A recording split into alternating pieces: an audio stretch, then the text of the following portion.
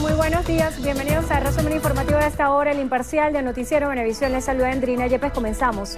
La vicepresidenta de la República, Delcy Rodríguez, sostuvo un encuentro con el Gabinete Social con el objetivo de revisar los planes del Ejecutivo en áreas de desarrollo.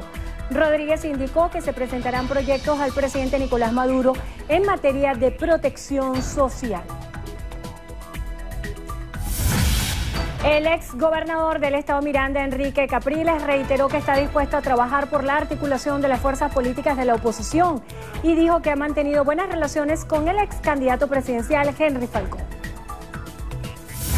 Hasta el 26 de julio está abierto el proceso de entrega de recaudos y manifestaciones de voluntad ante el CNE para participar en las votaciones de consejos municipales previstas para el próximo 9 de diciembre. El diputado a la Asamblea Nacional, Ramos Ayupa, aseguró que es imposible que se lleve a cabo en el país un referéndum revocatorio en contra de los diputados del Parlamento. El vicepresidente de Asuntos Internacionales del PSUV, Adán Chávez, aseguró que 625 representantes de 51 países del mundo firmaron una declaración conjunta en apoyo a Venezuela durante la vigésima cuarta edición del Foro de Sao Paulo. El diputado de la Asamblea y miembro de la Comisión de Finanzas, José Guerra, asegura que el pago incompleto a los pensionados evidencia la crisis de dinero en efectivo que existe en el país. El presidente de la Asamblea Constituyente, Diosdado Cabello, aseguró que Venezuela está obligada a mover tropas a toda su frontera para protegerla. Considera que Colombia desprotege los límites, facilitando la actuación de grupos paramilitares. El diputado ante la Asamblea Nacional por Petare denuncia colapso de las vías en los sectores Pablo VI y El Morro y la ausencia de unidades de transporte para quienes habitan en las residencias y zonas cercanas.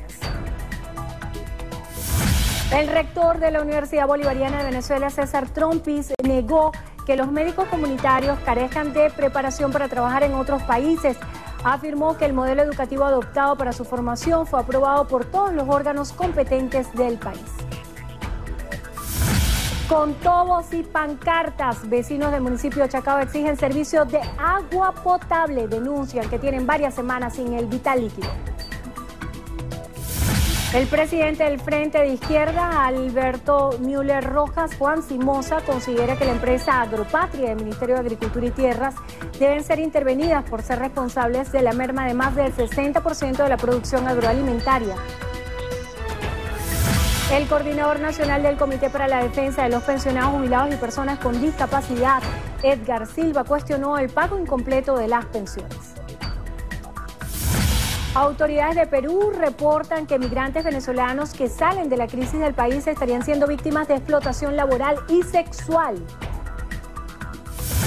En España, el juez del Tribunal Supremo Pablo Llarena retiró a la euroorden de detención contra el expresidente independentista catalán Carles Puigdemont al rechazar su entrega solo por el delito de malversación y no por rebelión. Veamos ahora lo que nos tiene preparado Carielis Cuadros en estrenos y estrellas. Amigos, hoy en las noticias del entretenimiento les contaremos que La Roca es el actor mejor pagado de Hollywood. Los espero en estrenos y estrellas. Gracias, Carielis. Amigos, el imparcial también en radio por el Circuito Nacional, Melodía Estéreo. Faltan tan solo nueve minutos para nuestra cita en la emisión meridiana de Noticiero Venevisión y desde ya los estamos esperando. Ya venimos.